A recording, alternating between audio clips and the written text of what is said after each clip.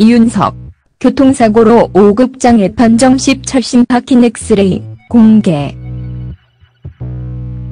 점.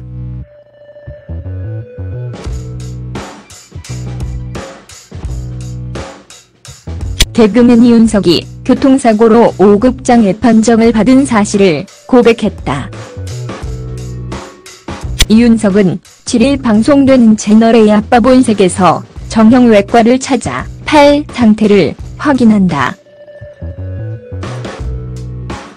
이윤석은 1997년 허리케인 블루로 활동하던 당시 교통사고로 왼쪽 팔을 크게 다쳐 5급장애 판정을 받았다.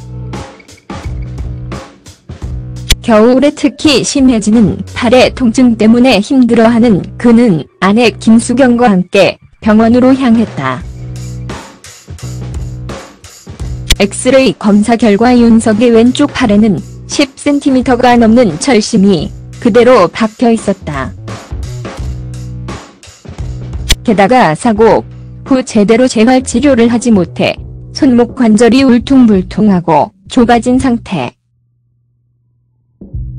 이를 본 의사는 손목 관절염은 이미 70대 수준이다라며 재활 치료의 필요성을 강조했다. 이윤석은 사고 후 빨리 복귀해야 한다고 생각했다. 먹고 살려고 그랬다고 심정을 토로한다.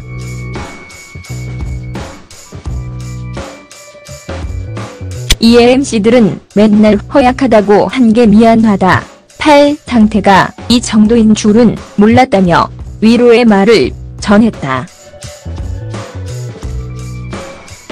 한편 이윤석은 지난 1993년 MBC 개그 콘테스트를 통해 데뷔 후 섹션 TV 연예통신 해피선데이 느낌표 공부의 제왕 화성인 바이러스 썰전 지린의 쉽게 강적들 허리케인 블루 등에 출연했다.